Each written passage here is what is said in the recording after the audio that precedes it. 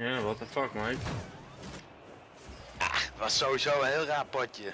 Ja, maar wat de fuck. Mij de gek aan steken en dan krijg ik ook echt niks voor elkaar.